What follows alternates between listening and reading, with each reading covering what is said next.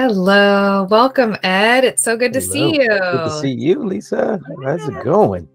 Oh, it's great. It's wonderful. It's wonderful. And I'm so excited to dig in with you. We're going to talk about authenticity and awareness and how it shows up. And let's start by hmm. talking about you. How do you define yourself? How do I define myself? You know, I am a deeply sensitive, very caring, and empathetic person who wears all of my senses on my shoulders. You know, I'm one of these folks, I do not like to see people suffer or sadness.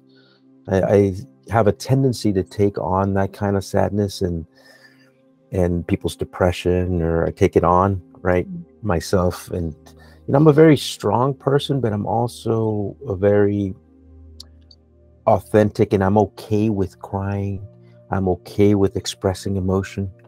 And I can take on a lot too, which is an interesting combination, right? That I can take on a lot, yet I'm very good also at expulsing it, right?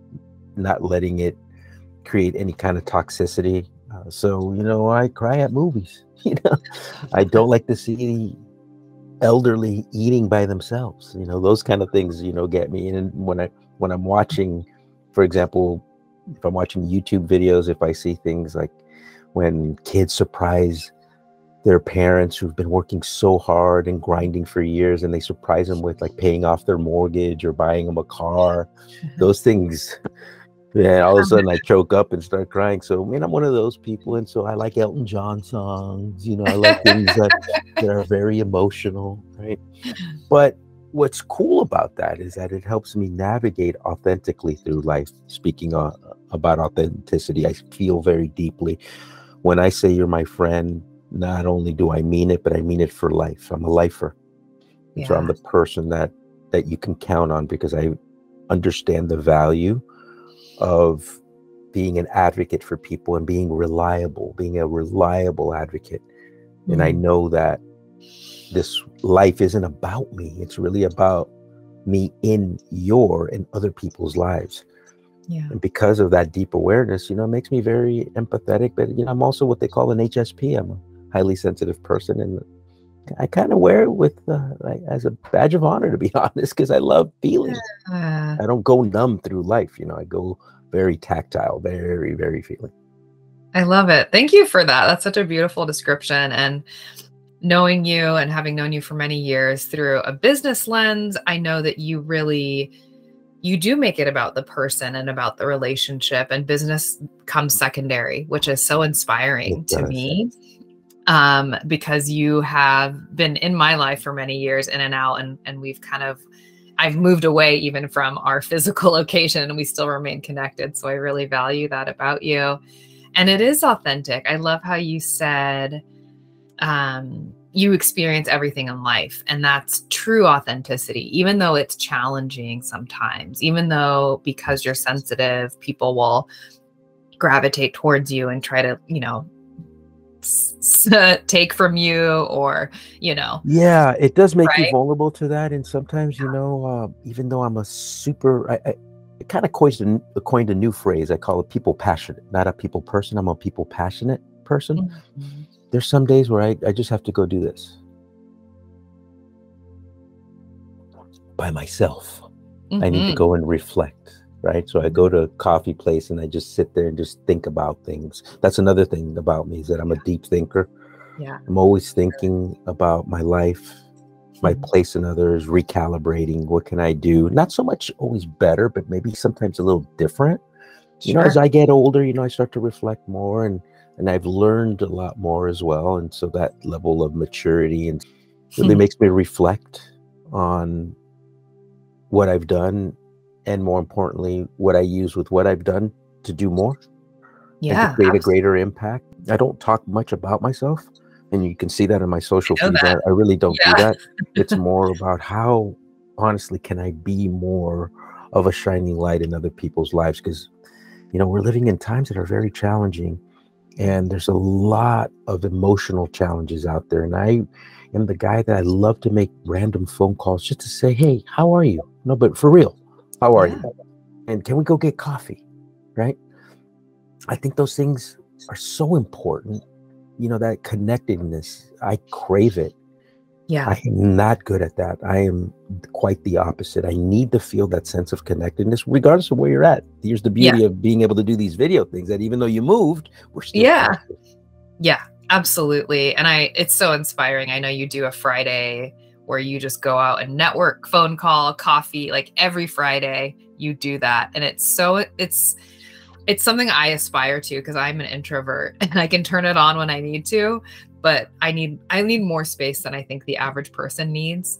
Um because that's I'm also okay though lisa that's okay because it's who you are. I are know it is. Yes. I own it. I'm like, Totally. I'm going to Awesome. Hawaii. I get to be alone. Woohoo!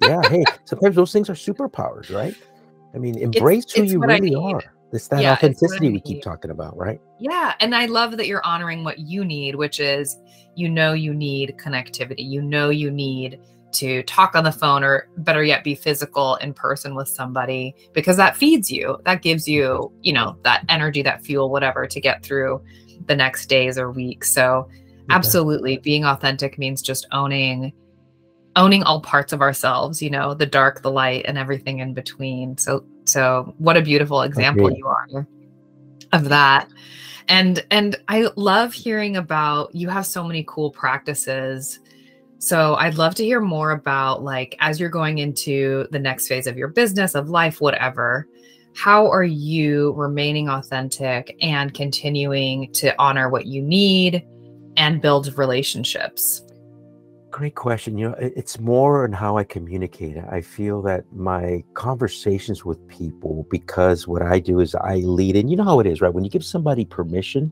Mm, then all of a sudden they show up, right? Their authentic Mhm. self. So the way I'm giving more permission is by being more authentic.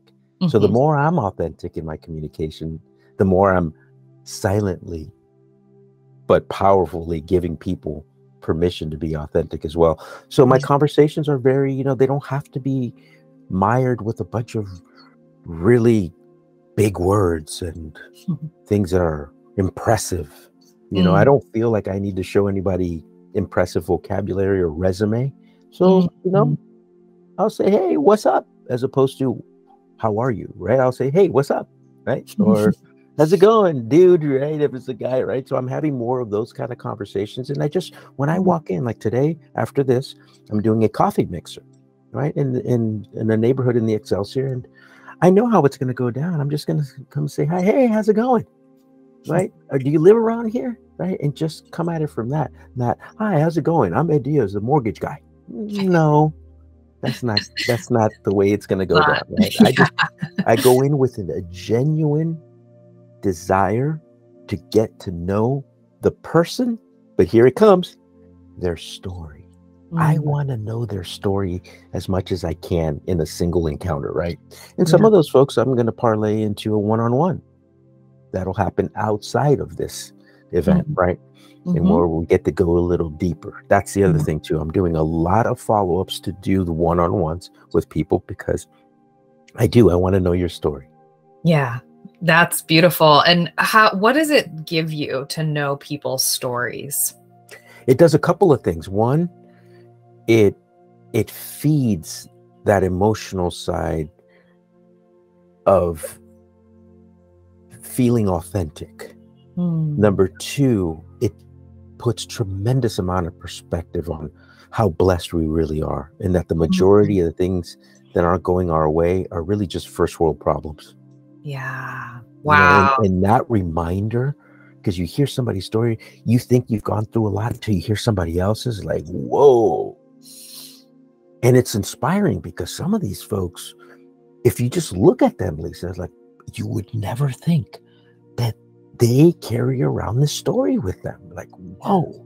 I remember speaking with a lady who who showed me her forearm and she had the tattooed numbers from when she was in in a Nazi camp.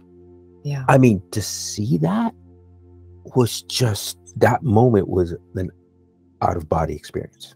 Yeah. And and what a blessing because you had the awareness to ask the question. You know? Yeah, and to that point is, you know, you, you're doing, you know, the old ratio, right? Two to one, right? You do twice the amount of listening, but the art of asking a lot of really good questions is really where that syrupy goodness of conversations lies, right? Because you ask one question open ended, and then all of a sudden they're telling you this story that is just wow, right? Yeah. And then on the other side of it, they'll remember you as that person that was curious, that was inquisitive, that was, you know, genuine and and asking these questions with interest. And then and then what does that do for for business, for example? You know? You know, I never really think about it much because here's here's where I come with this or where I come from on this topic is that the more authentic you are and the more you spread love inclusivity and be a resource to people to the outside world, I look very lucky, Lisa. I know. they think it's well, luck. It's not. We're we're peeling back the curtain here because totally. you're the real wizard. the secret. Yeah, that's really the that's it, right? It the more authentic you are, the more you do what you just said. The more business you start doing, it just attracting. It's a side effect. It's a hundred percent. Yeah it's a consequence of and so but but to me it's a result of not mm-hmm. the focus right and yeah. so i just focus on doing those things and then all of a sudden the business ends up coming but it's not it's yeah. not luck it's just how you want to live right yeah. so for me it's just how i live not how i market right which is mm-hmm. what most people would say well how do you market no no this is how i live yeah. Right? It's and, a paradigm. And that's why I'm always the same person no matter what the venue. Yeah. I don't change up or do different kind of scripting because I'm doing a coffee event or I'm speaking. You've seen me. I mean, yeah. I'm always the same guy. I know. And that's incredible. and it speaks it speaks so highly because um, you know what you're going to get. And i know ed yes. will always follow up with anyone i send his way and he'll always look to connect. You're such a great connector too. You're always looking for which i think is is a huge um, skill set but it's something you've perfected. You're always looking for ways to connect people which is such a gift. Like that is incredible. Yeah, I do think it's one of my superpowers, and and there's yeah. and I've been talking about this a lot lately. The difference between being a networker and being a connector. See, the yeah. networker will go to a lot of events, collect the business cards, but mm-hmm. typically there's not a lot of follow up after, mm-hmm. right? It just kind of mm-hmm. dies at the event. Whereas the heart and soul of a connector is one that goes to these events with an end result in mind, and that is to connect the people that they meet to other people that they have already in their network. That is night and day. Because that way you're always being a blessing to other people. You know, you don't go there to monetize or to try to get something. You go there because you know that the people in your network will be blessed by you going. See the difference? The difference is huge. Yeah. Night and day. Absolutely. Absolutely. Well, it's a mindset too. It's it's um it's a giving mindset versus a receiving mindset. It is. It is. Yeah. That's exactly right. It's the giver's gain model, right? Mm-hmm. Yeah. That's awesome. So I'm so curious. Can you think of a time in your life where you were not your authentic self?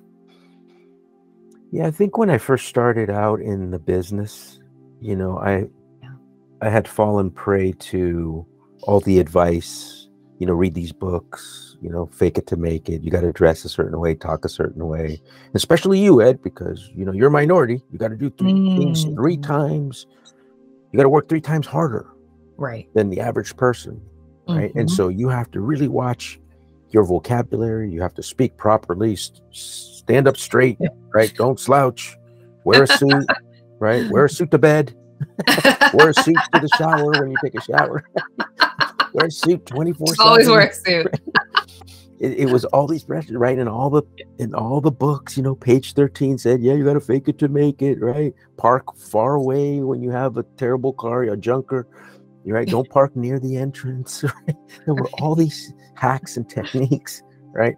Yeah. And so I found myself being a certain way. But yeah. I always knew, was like, man, it's just a lot of work. You know, I mean, I, I don't really, a, I'm not that guy, and two, I don't want to be that guy. Yeah. And so I always say that the greatest gift that I've ever given myself has been the gift of permission to be my authentic self. Yeah. That's been really the biggest thing. And lo and behold, the more genuine I became, the more I became approachable. And the more Mhm. approachable I became, the more business I did. And and overall my life I was happier because then I didn't have to use all these fancy words. Am I capable of it? Of course I am. But is it really who I am? Do I really talk like that? No, it's like kind of getting you ever get some of these template emails from somebody you know they don't speak like that. right. You know they bought a service Mm. that is doing their emails for them. I never wanted to be that guy. Yeah. Yeah, I love that. And um I think we all have to maybe begin in a in a way that isn't authentic and we go through the motions or, you know, try to fit ourselves into these spaces where we know we don't fit but we try it because then in contrast we can totally break free and be exactly who we're meant to be without any exactly right. restrictions and it's such a beautiful way of learning i think so there is some purpose into you know being restricted being confined so that the freedom that comes after is just so delicious and so wonderful you know? 100%. Couldn't agree more. yeah. Well i love that. So so how do you i know you know relationship building connecting really feeds you. What else feeds your authentic self like your soul? What gives you what you need every day? Besides coffee, well obviously coffee, obviously, if you know me for Coffee, two seconds, done. you know Already coffee got does that that. Well, you know, I, I think, you know, it's going back to Simon Sinek and when he talked about Mhm. why, right? In that the most popular TED talk ever. Mhm. It's to me, it's going back to my why. And what's my why? It's really my family, you know, my wife and my sons. At the end of the day, that's that's what I, I go back to. And I literally look at my phone and the picture in the morning before I start making phone calls, like every day. I don't even think my wife knows this, but every single day I look at these things. And you know, sometimes you know I get emotional about it, right? I gotta clean up a little bit of tears before I get on a Zoom or you know make the phone call. But but that's the truth is that those things just drive me. It drives me. Yeah. It's not even, you know, it's not even things like you know buying a house. Although you know, of course, you want to always bless your family with those things, and you know, I want my son to have a house and all those things. But at the end of the day, I want him to have great core values, and I want him to also know that he fueled me Hmm. and that he was the primary reason why I always wanted to live out loud and to Mm. accomplish is it's to give him a sense and my wife a sense of security right because Mm. that's so huge right for many Yeah. people that's a love language right it's that sense of security and i get it and so what you know it's so funny because as you know lisa people will ask me they'll say man ed how do you do it man? Like what you're doing like seven eight appointments a day and you do the mortgages and i see you everywhere and you post and you go to events. I said man i have a singular focus. And that's just to be a blessing primarily of course to my family and then after them to the rest of the people that become part of my tribe. And as you know bng right? Bay networking group is is my extended family. They're my tribe you know? Yeah. and i think about all of them all the time. Yeah you do. I do which is why it makes me such a great connector is because i care yeah. right? And i care about things that i don't monetize. I don't have to monetize. My caring goes way above and beyond yeah. what i monetize. And you know sometimes uh that's good. Sometimes it's not because sometimes you got to focus right? I mean if, if you're self-employed you got to focus on also bringing home the bacon so to speak you got to take care of bills and and above that you know you want to create a sense of success and not have to worry about finances I love it. I feel like caring is your superpower, really, like being a genuine caring person, which sounds really simple, but it's actually very faceted. Um Yeah.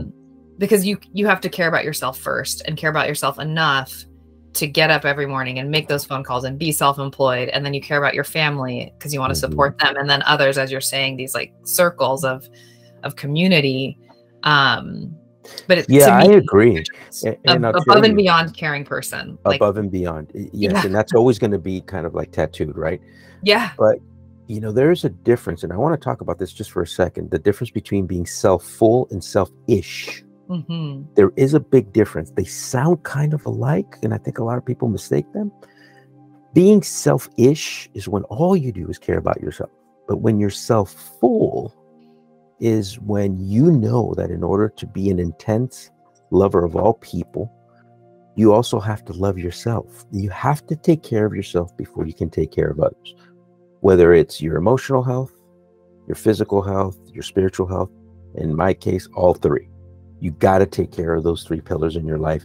And that makes you a super caring people, being able to do more than what, let's just call it, the average person does. Why is it that I have 24 hours just like everybody else, but I have a tendency to achieve a ton? It's not because I'm trying to check off boxes. It's not.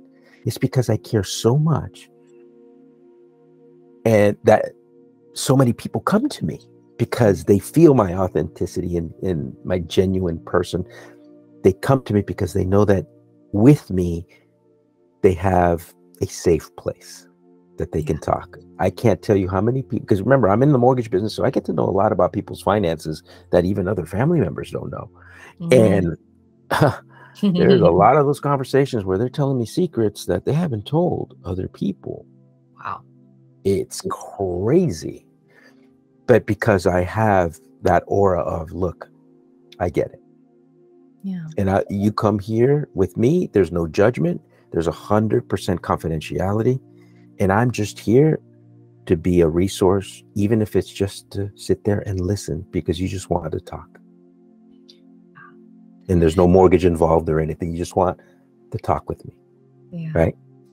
Well, that's an amazing gift. I think most most humans uh, desire that space, a non-judgmental person that will listen, like really listen, not Really think of the next thing that they're going to say in response, not judge them. Um, I experience that too. That's why strangers will tell me their deepest secrets because I also hold that container of like, look, I'm not going to judge you. You can say whatever you want to me and and it's beautiful and I'm not going to tell anyone even. but I think that's that's people absolutely perceive that in you. So they that feel it. They yeah, feel it. absolutely. And, and you know that that fills my bucket. It continues Yeah. to overflow because Mm. for me, when somebody trusts me and loves on me, that's the greatest gift I can ever ask from a human being. Mhm. There's, there's, you can't write a check that big. yeah. Honestly, you can't. Right? That connection is amazing. It makes that coffee that I love so much taste even better.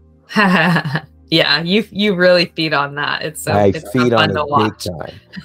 you know how I am on one-on-ones, man, and coffee talk. Oh my gosh, that to me is like a, it's a staycation, right? it really is. I love doing them. So I do so many of them I know. so yeah, you're just you're just having fun all the time. It sounds like all the time. yeah, you know, it's. I, I tell you, I'll tell you a little funny story, and for all of you to hear this one, this is a really funny story. So I was about 21 years old, and I was working for a bank, and I was, um, I had 35 branches I needed to go visit, and I was doing their their business banking. And my boss Wendy calls me, and she said, "Hey, I need to talk to you." Oh yeah, what's up, Wendy? I go, "Why, why so serious?" Right? Because you know me, I'm always joking. She goes, "Well, we got to complain about you." I said, I go, "You're joking, right?" She goes, "No, I'm serious." I go, "Why?" Well, people at a certain branch that I can't disclose are saying that you're making a lot of personal calls during the day when you're there. I said, Wendy, you know me. I would never do that. You guys pay me to do this job and to do it well. I don't take it for granted. You know how appreciative I am of everything I have, including this job. She said, I don't know where it comes from. And then all of a sudden, it dawned on me. I go, I think I know. Come here, Wendy. Come in. Come into the office. So she comes in. Just hold on for a second. I go. So I, I make a phone call. Hey, how's it going, John? She can't hear, right? So I put it on speaker. And John says, Hey, what's going on, Ed? I never said my name, but John recognized my voice, right? so how you been, man? That's Oh, totally great. You know what? It's so great that you're actually calling me Ed, because believe it or not, man, I was thinking about you two days ago. And and I need to come and talk to you about getting, you know, an equity line of credit for my business. And so I'm like this to Wendy. I go, it's the personal call. I said, yeah, man, no problem. You know what? Let, us uh, are you available tomorrow at, you know, 11 a.m.? Goes, yeah, man, stop by. I said, all right, man, I'll see you tomorrow. All right, bye. I hung up. I go, that's the problem that they perceive, Wendy. It's just that I am personable. Not making personal calls. I am personable in my calls.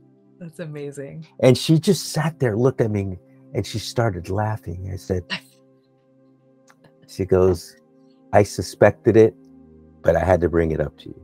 So she had a, a meeting with everybody and said, Look, we're not going to name names, but something interesting and great has come out of a complaint that was mm. made against Ed. And I'm standing there in this wow. big meeting. Good for her. So I will let Ed take it from here. And I did the same thing and I did a, a mock conversation, right? And and I know who it was who did who complained. Yeah. But the, but Wendy said there's a lesson here, guys. This is make sure that your job is an extension of your life and your personality. So hmm. this complaint is actually a wonderful example of somebody who sows who they really are into what they do to the point where people mistake his approach. Man, you could hear a pin drop. I know the jaw. I'm sure all oh, their jaws were like. And, and, you know the lady who, because I was looking yeah. at her, because she, she didn't know that I knew, but I knew. She, you could just tell she yeah. frazzled. well, that's just it, right? Sometimes when you're fully bright and fully embodied and fully authentic, people and are present. threatened by that. Yes. And yeah. you know what? I think that it was a silent eh, but powerful lesson that she learned. You know, so if I and I didn't hold a grudge or nothing because yeah. I understand. If yeah. I were in her shoes and I'm across the way and I hear these and me laughing and carrying on like I'm talking to a friend, I could see how somebody would say, "Hey, you look, these are business hours, right? You, you need to do your job, right?" But she made a assumption, right, as opposed to getting the facts. But right. I just thought that that was such a. I'll never forget that because yeah. I was 21. I'm gonna be 55, so that was a little bit ago, right? But I I remember it like it was yesterday, and it was such. Yeah. It was such a wonderful example of who I am yeah. And have been my whole life. It's amazing. I love that. What a great story. And mm-hmm. what a lesson for all of us, right? Like it's not what it seems. And being who you are is the most important thing always, despite what other people think.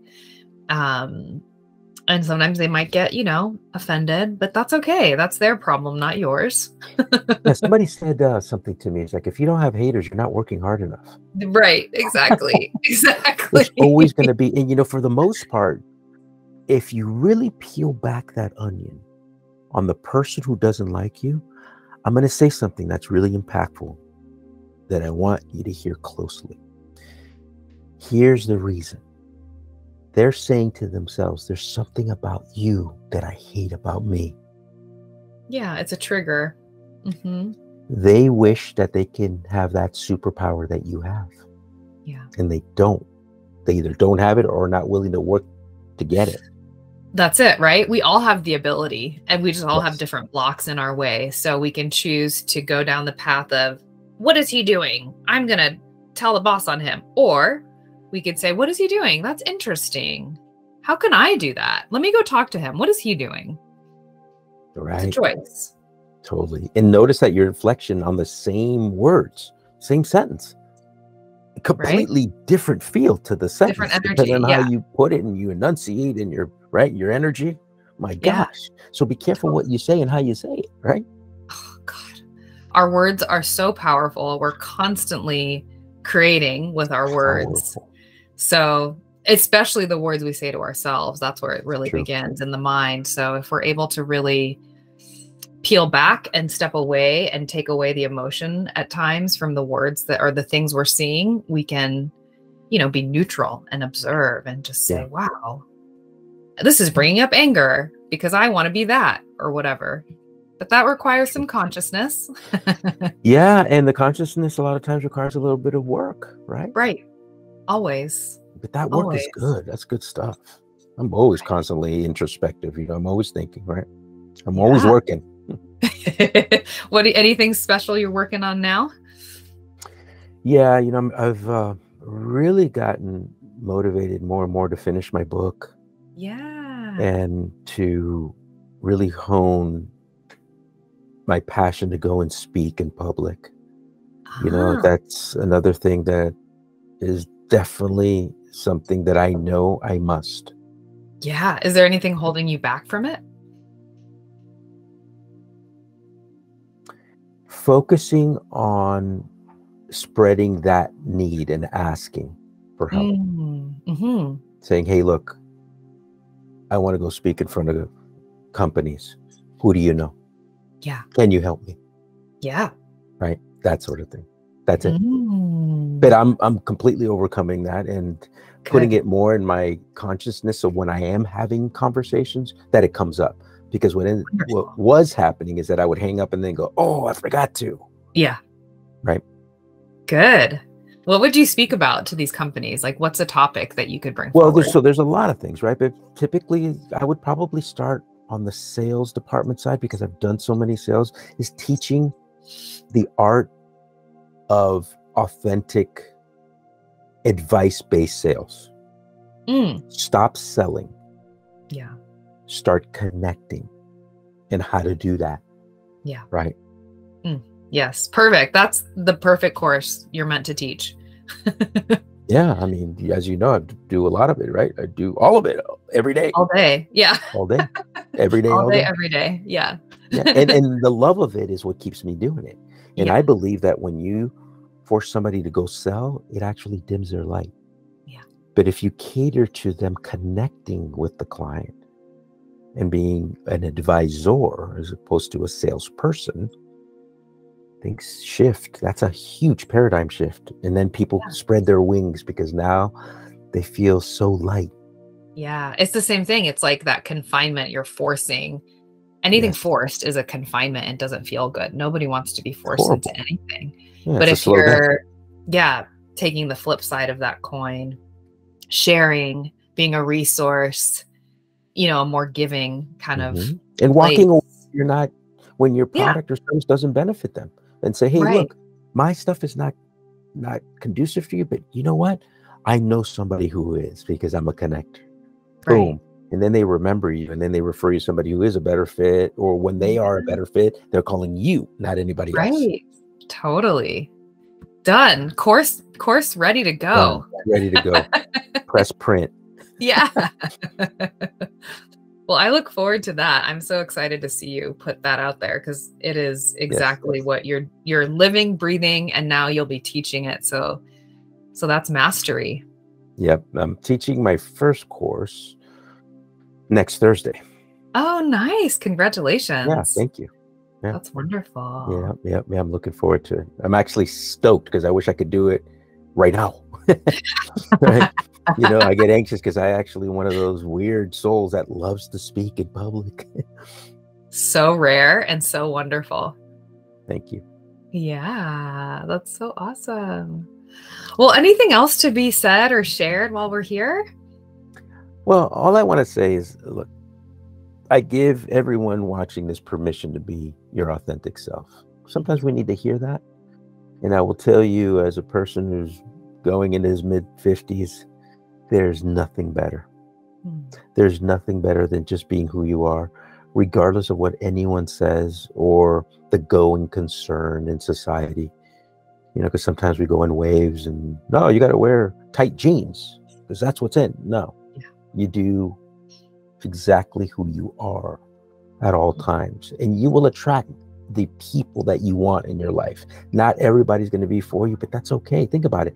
If you had 30 friends, you wouldn't have time to be real an authentic friend to all 30 we forget sometimes that it's can't be friends to everybody so select your friends and your tribe the people you surround yourself with both business and and personal and a lot of times those are the one same the same yeah pick them wisely because you know time flies i mean look Hmm. we're three years since the pandemic i mean how fast did that go you know, here we are right now, ending February 2023. According to the Jetsons, we were all supposed to have jet cars at this point, right? But look how fast things are flying. It's going so fast. Don't spend another day being somebody else. Mm. You don't need it. Whoever told you that, they need to do the work too, right? Surround Mm. yourself with great people, read a lot, nourish yourself, take care of yourself, be self full, right? Yeah. That's my message to planet Earth today. Beautiful. Oh, it's always so nice to just be in this space with you. You're so inspiring. I'm No, so grateful to have you in my Well, I'm always inspired by people like you. You know, it's the people I Mhm. surround myself. You guys are the ones who fuel me. Yeah. That's it. Yeah. I wouldn't be this way were it not because of people, right? Mm. Yeah. S- Words from a true connector. I mean, really. Thank you, Ed. Thank Such you. a pleasure. pleasure's all mine. Oh, Thank you for this opportunity, Lisa. yeah, my pleasure. You have a great day. Thanks. Thanks.